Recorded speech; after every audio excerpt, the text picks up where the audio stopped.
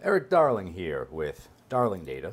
and uh, in this video, we are going to talk um, a little bit about uh, no-lock, or the read uncommitted isolation level. Now, uh, like I said in the, in the initial video, it's very easy to make fun of no-lock hints. Uh, SQL Server, for whatever reason, uh, aside from Azure SQL DB, is like the only database, the only sane, rational database in the world that does not use uh, optimi an optimistic isolation level by default. Now, it might be a little unclear from a lot of vendor stuff that that's the case. So if you look at vendor documentation, uh, you might just see that their default isolation level is read committed, and you have to dig a little bit further to see that they are using something called multi-version concurrency control, or MVCC, to enable optimistic reads for their databases. This is true of Postgres, Oracle, DB2, just about any other major vendor database that you will use in your life uh, will operate under the optimistic locking semantics. Now, because SQL Server is SQL Server and it decided to do this thing differently, this is the only this is really the only database platform in the world where you will see endless blog blood spilled over read uncommitted and no lock. Now, this should this should be telling to a lot of people, but it's not. What people did was kind of the stupid thing. They spent all their time picking on no lock. They, they spent all their time castigating people for using no-lock hints. I'm guilty of this as well. But the problem isn't no-lock. The problem is read committed. If read committed were a good, reasonable isolation level for the majority of workloads out there, you would not have people running into the filthy arms of read uncommitted and no-lock to get away from it.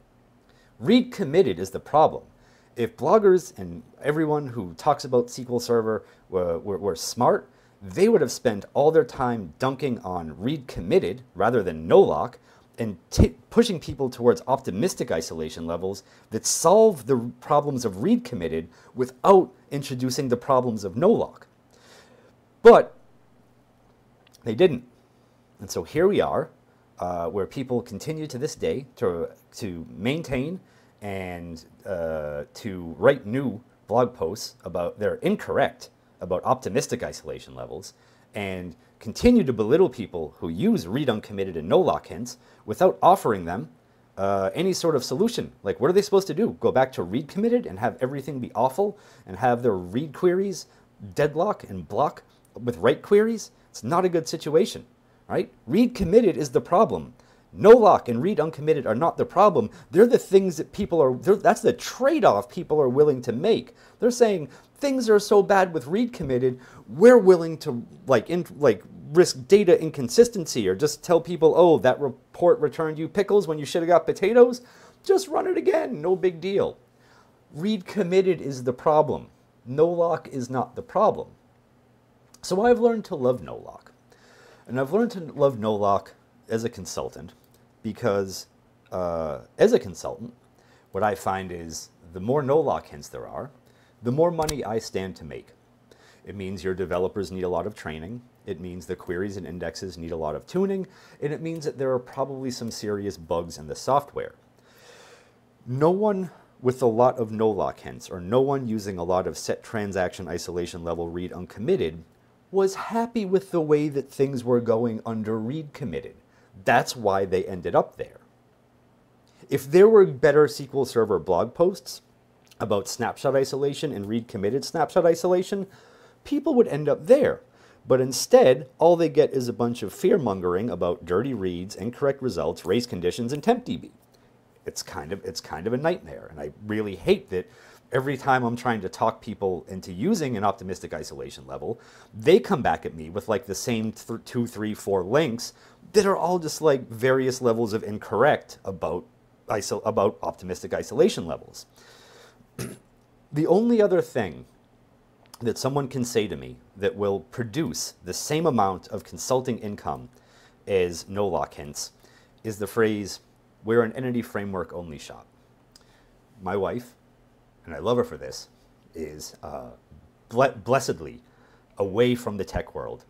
She has no idea what these things mean. Uh, as the Darling Data social media intern, she uh, has gained some knowledge and insights uh, by doing my TikTok videos and taking these videos and chopping them up. But still, uh, blessedly unaware of what these situations are. However, I can text her words like no lock, and I can text her words like entity framework, and, and she knows what that indicates.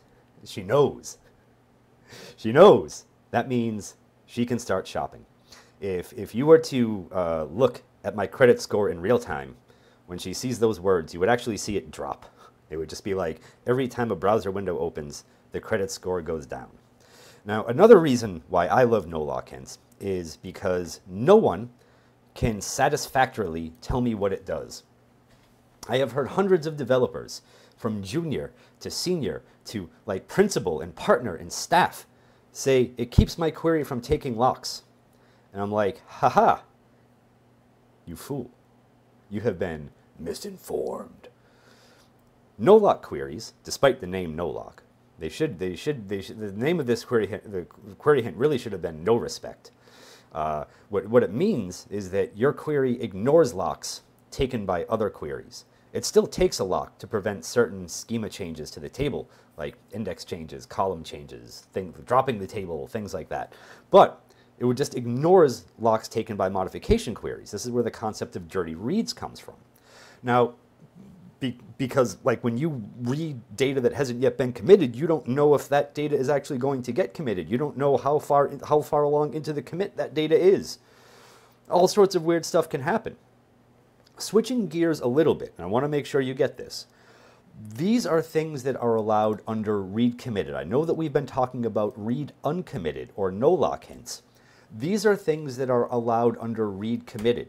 You can see the same row twice with the same values. You can see the same row twice with different values. You can miss rows entirely because they get deleted or moved around. And you can see duplicate rows entirely. This is under read committed, the thing that no one is happy with and the reason why people run into the arms of no-lock hints.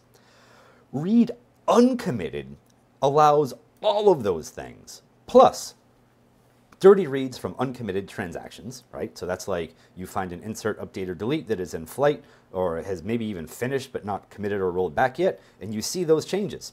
You can see partially committed row, row or column data. Paul White has a really interesting post where he's updating uh, a, row data from all x's to all y's or something like that. And in, with using no lock hints, you can actually see the partially committed changes where it's like half x's and half y's. You can also run into errors, and if you go through your error log, you, you might actually have seen these before. If you use my, store, my free store procedure, sp_LogHunter, it will show you when these things happen. But SQL Server will actually sometimes throw errors when you use a no lock or read uncommitted hint, and your query and just data has changed too much around your data. Uh, rather, sorry, data has changed too much around your query to uh, allow your query to continue because the results would be so weird. In English, that's this one. Cannot continue scan with no lock due to data movement. Uh, but that apparently there is just a multilingual alliance of people who have who might hit this problem. So worldwide, uh, you can see that there are some things in there that are very far from the typical alphabet you or I might see. That that you know there there are things in this in this in this view that say that worldwide no lock is an absolute villain. Most people most people in the world associate no-lock hints with just returning incorrect data to someone. They'll put it on a reporting query, they'll put it in their, all their SSRS reports, start with set transaction isolation level read uncommitted, and they just go on with their lives and don't care. They're like, oh, this, this report won't take any locks. We'll be just fine. It'll be fast. It's a magic button. Everything's great with no lock. But a lot of people don't think about the repercussions of putting no lock hints elsewhere in queries. A lot of people just associate it with reading data. Not a lot of people associate it with actually committing data into their database. I've worked at a lot of places over the years. There was one place I worked at, and you know this isn't this isn't a knock against Redgate or SQL Prompt. This is just the way that this company chose to use Redgate's tool SQL Prompt. Is every developer got SQL Prompt, and every developer got their their like SQL Prompt config file. and there was a hotkey combination that said with no lock. So you could hit like two keys on your keyboard and every single from, join, you know, where, anything like that, anything that referenced a table, all of a sudden, boom, no lock hint. A lot of people consider it a best practice. It is a worst practice. The best practice to use an optimistic isolation level. The worst practice is to use no lock hints. Let me show you why. So we're going to, uh, this is just going to be mostly all in this window, uh, but we're going to uh, create a couple tables, one called no, one called lock, and these are going to be very simple tables. Uh, and these tables are going to just get uh, one row put in each of them. Uh, you'll see that in the table no, we are inserting the ID 1 and a null value. And in the lock table, we are inserting ID 1 and we are inserting, uh, you know what, I think I'm going to start that over again because I'm, I think I double inserted in that one. So let's just make sure we do the right thing here. Uh, drop table if exists, create table, good job us. and uh, what we're going to do is put this query into a new window over here. And there are some ghosts of previous demos in this window, that's okay. And uh, then this is going to be the update query that we run. All right.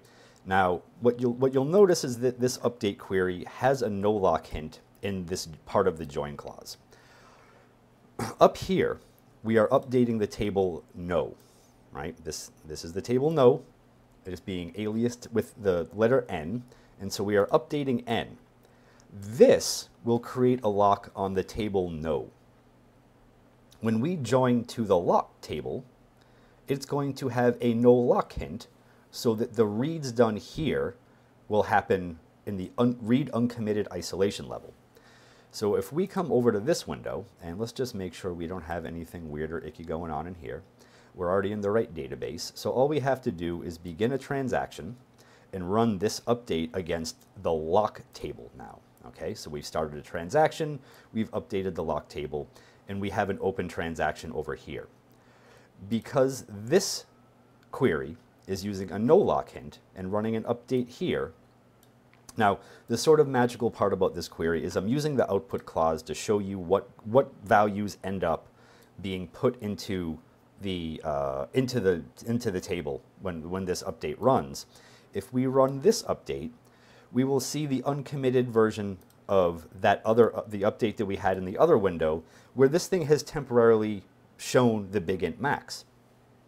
Now, a lot, like I said before, a lot of people only associate no lock or read uncommitted with potentially returning dirty reads or incorrect results for select queries.